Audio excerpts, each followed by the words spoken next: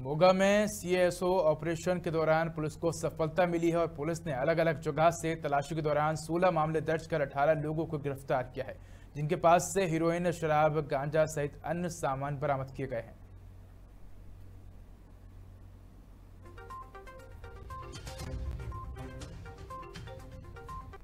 अपने फरीदकोट रेंज के जिन्हें मोगा, फरीदकोट, मुक्सर, तीन ज़िले ਜ਼ਿਲ੍ਹਾ ਦੇ अर्ली मॉर्निंग ਅਸੀਂ ਕੈਸਾ ਆਪਰੇਸ਼ਨ ਸ਼ੁਰੂ ਕਰ ਦਿੱਤਾ ਆਪਾਂ ਆਪਣੇ ਮੋਗਾ ਜ਼ਿਲ੍ਹਾ के बारे में ਗੱਲ करिए तो ਅਸੀਂ ਸਵੇਰੇ 6 ਵਜੇ पूरा सर्च करना शुरू कर दी थी और ये ऑपरेशन ਅਸੀਂ दोपहर 12 एक बजे तक पूरी कंप्लीट करता है और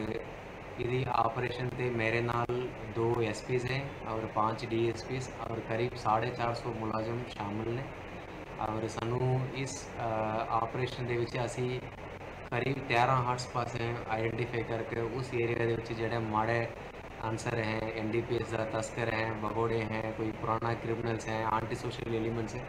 उन्होंने खिलाफ एक्शन असी लिता गया और सर्च किया उन्होंने घर भी सर्च किए हैं।